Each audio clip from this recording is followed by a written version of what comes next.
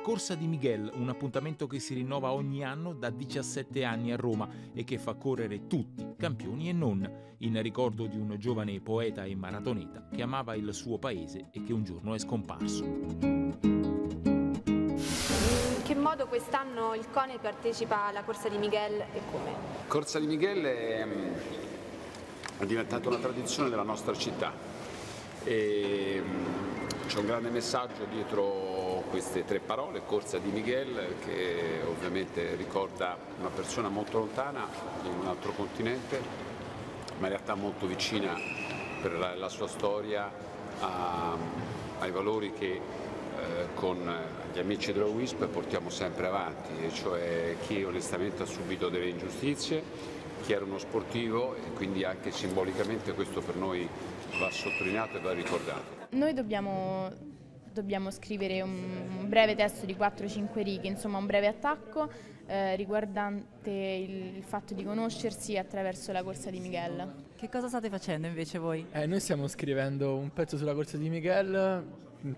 sottolineando il fatto che la corsa sia aperta a tutti,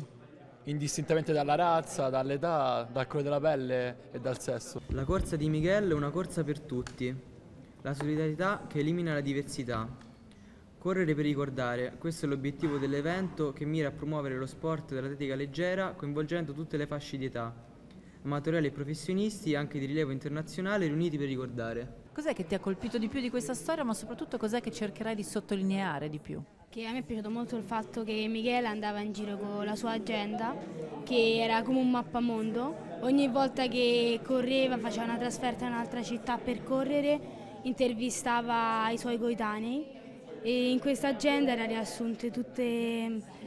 le caratteristiche belle dello sport o anche quando lui si innamorava e c'erano anche autografi di sportivi importanti e quello mi ha colpito molto.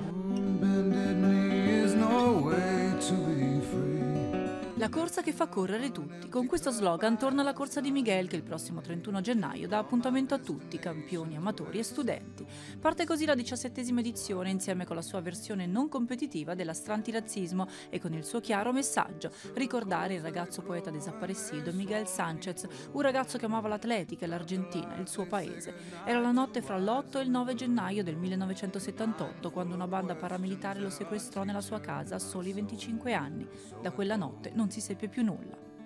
Grazie alla Corsa di Miguel che non è solo una gara podistica una tantum, ma è una quantità di iniziative particolarmente nelle scuole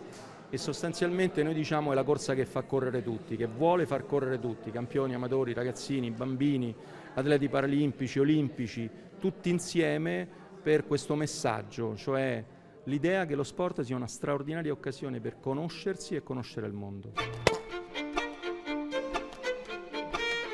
Una manifestazione ricca di eventi collaterali, con la corsa madre che sosterrà le tante corse più piccole rivolte alle scuole in programma poi nei mesi di febbraio e marzo. Quelle scuole dove si sono già tenuti più di 100 seminari dal titolo L'Olimpiade spiega il mondo e dove ha esordito il progetto Alternanza Scuola-Lavoro del WISP e della corsa di Miguel, con cui 350 studenti produrranno ogni giorno un quotidiano online dedicato alla bellezza del correre, alle associazioni di solidarietà presenti e al modo migliore per promuovere l'atletica fra i ragazzi. Tutto questo grazie alla legge 107 del 2015, secondo la quale i percorsi di alternanza scuola-lavoro sono attuati negli istituti tecnici e professionali per una durata complessiva nell'ultimo triennio di 400 ore, mentre nei licei di 200 ore inseriti obbligatoriamente nell'offerta formativa.